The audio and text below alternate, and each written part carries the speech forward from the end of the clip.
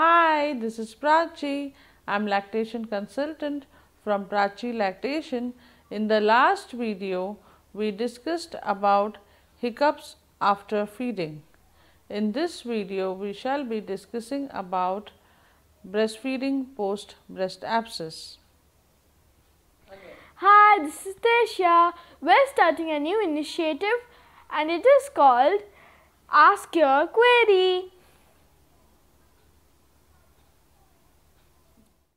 Are there in the description below and remember to quickly fill it because it's there only for a limited time.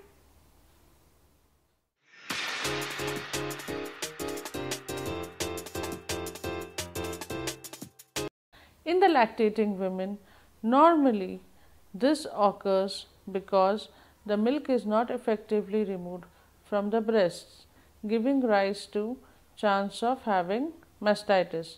When mastitis is left untreated or is not properly treated, there are chances that it can develop into breast abscess. The breast abscess is a boil filled with pus in the breast. Normally, it affects only a part of breast. It can occur in both lactating and non-lactating women.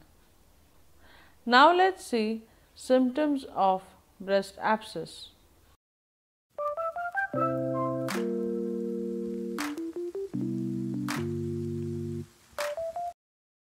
The formation of boil will cause swelling in that particular area.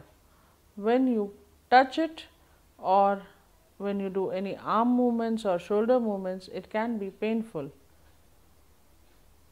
There is redness in that particular part of the breast and also there are chances of having fever. Sometimes nausea and vomiting along with tiredness can also be experienced. Now, let us see the treatment of breast abscess.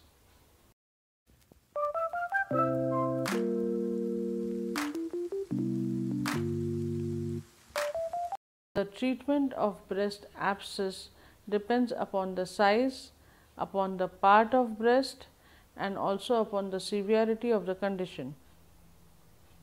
The treatment of breast abscess involves aspiration of pus either by using needle or by doing incision and draining the pus. Now, let us see some tips of breastfeeding post breast abscess.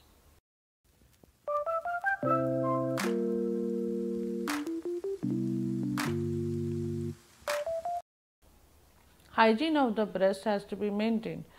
The breast has to be maintained dry, clean and mother has to ensure that the pus is not oozing out from anywhere. Also, she has to take proper care by washing her hands after cleaning the breast and also before taking the baby for feeding. Medications Painkillers and antibiotics prescribed by your doctor are generally safe and compatible with breastfeeding. You can ensure that with your doctor and continue breastfeeding as well as taking your medications. Wear loose clothes and ensure that none of your clothes are putting excessive pressure on the abscess. Do not do any kind of massage on the area of breast abscess. The other things that you should take care of while recovering is you get enough sleep, you are dividing your duties among the other family members so you don't strain yourself, you are eating your meals on regular times and taking lot of rest as you get better. Last but definitely not the least, in case of any aggravation in pain or fever, you should report to your doctor immediately. So, this was all about breastfeeding post breast abscess. In the next video, we shall be discussing about use of nipple shield for breastfeeding.